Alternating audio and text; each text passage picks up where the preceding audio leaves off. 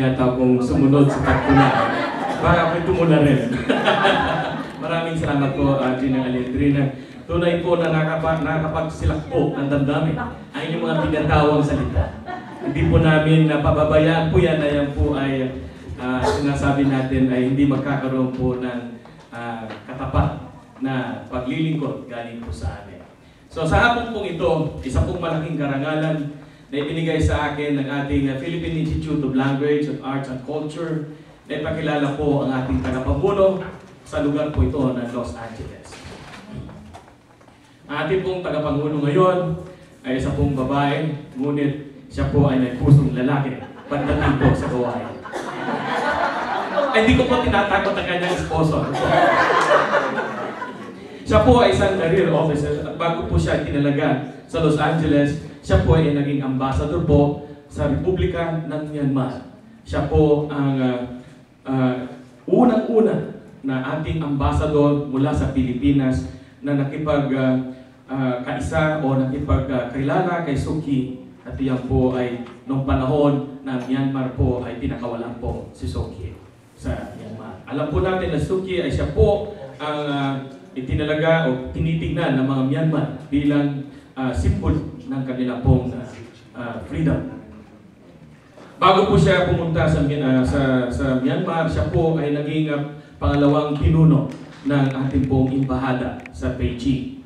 Ah, siya rin po ay naglingkod ah, sa iba't ibang ah, bansa ah, bilang ah, ah, representante o consul general o consul ng Pilipinas. Siya po ay naglingkod sa Imbahada ng Tokyo, Japan. Ah, naglingkod po siya sa Imbahada ng Pilipinas sa Spain o Espanya. Naglingkod din po siya sa Imbahada ng Indonesia, Jakarta. Ah, siya po ay ah, naglingkod po sa Philippine government sa pangasiwaan po ng panlabas na relasyon o Department of Foreign Affairs sa loob po ng dalawampu at tatlong taon.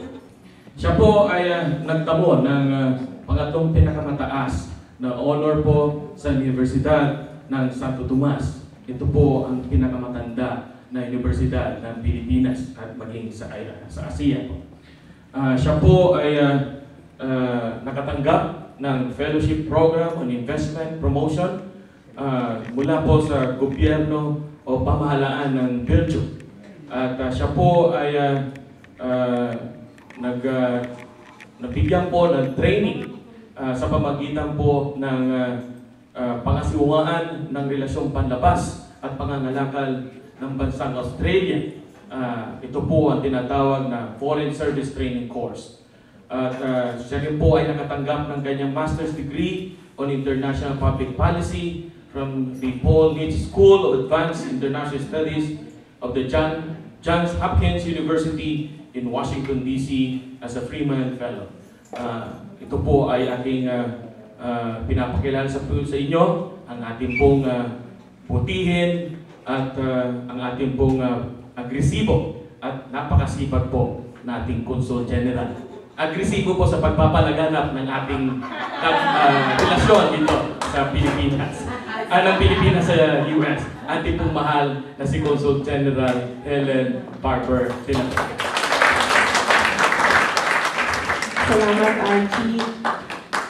Magandang gabi po sa inyong lahat. And for our non-Filipino guests, uh, good evening. Thank you so much for sharing uh, uh, your presence with us this evening. So please allow me also to speak in our native uh, language, Filipino, sapagkat hindi naman po yata maganda na yung mismong Consul General ay hindi magsasalita sa wikang Filipino. Um, ako po ay nagagalak at uh, mainit po na pagbati sa ating mga bisita galing sa CTFLC. Nasabi ko po kay uh, Dr. Elisio kanina, kanina na medyo po uh, na, nagigilty ako ng konti na nung unang na-assign ako dito sa Los Angeles as a consul, ay hindi ko po masyadong uh, uh, hindi ko kaagad nakilala itong CTFLC.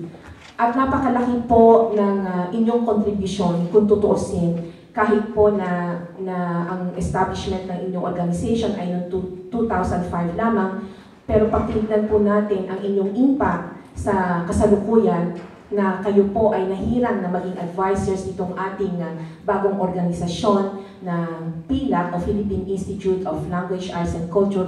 Doon po natin malalaman na talaga pong ah, importante ang ah, itinalaga ninyo na organisasyon ng CTFLC na naitanong ko tuloy kanina kay Dr. Alicio, bakit kaya hindi pa kayo nabibigyan ng award ng Commission on Filipinos Overseas?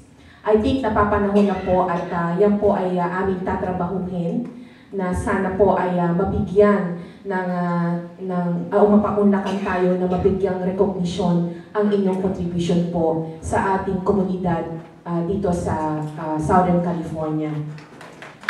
At uh, higit, sa lahat ay ah, nagpapasalamat ako dito sa grupo ng Codifa, lalo na dito kay, kay M. Roberts, dahil sa kanyang, uh, sabihin natin pioneering initiative na ah, sa mentoring ng ating ah, uh, trade representative na si RG ay napag-isipan nilang buuin itong Philippine Institute of Language, Arts and Culture.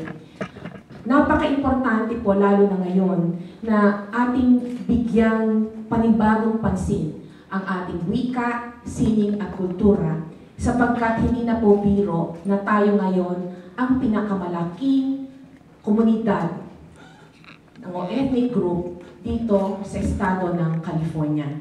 At dahil po dyan ay napakalaki din po ng responsibilidad ng ating komunidad na ating iparamdam kung ano ang magagaling sa atin in terms of sa ating uh, uh, sining, kultura, at pati na rin po yung ating mga values na pwede nating masabi na maaaring din bigyang pansin ng ating host uh, country, ang United States of America, katulad na rin po ang ating uh, ma, malalim na uh, pag, uh, ano ba tawag dito, pag-embrace no, sa ating uh, pananampalataya at sa pagmamahal sa pamilya.